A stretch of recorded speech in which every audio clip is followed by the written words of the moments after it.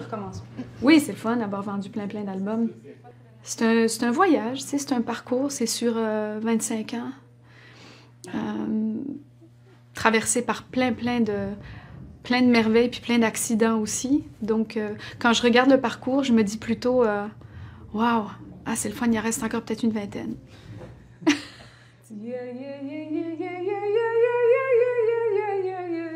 C'est quoi le truc pour durer?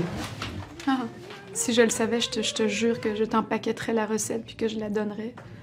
Le truc pour durer, hmm, si j'avais un truc, je te dirais, c'est rester toi. Même dans les moments où tu l'oublies. Euh, au moment où tu l'oublies d'être toi et où tu rentres dans ces espaces de représentation malgré toi, parce qu'il y a une pression très forte à l'intérieur de ce métier.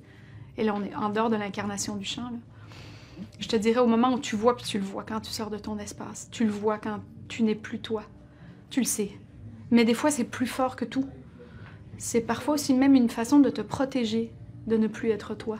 Mais parfois, ça m'est arrivé d'être tellement insécure ou tellement mal à l'aise ou tellement en protection que je devenais malgré moi quelqu'un d'autre. Puis je le voyais. Puis dès que je le voyais, oh, et que j'aimais pas ce que je voyais, je disais, écoute, là, reviens, reviens, là, c'est pas grave.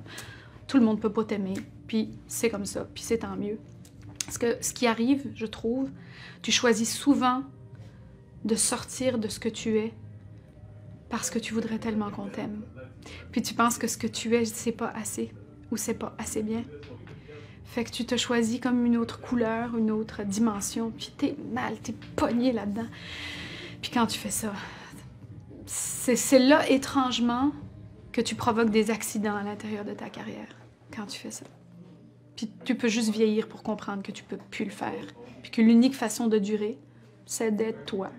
Parfaitement imparfaite, mais toi.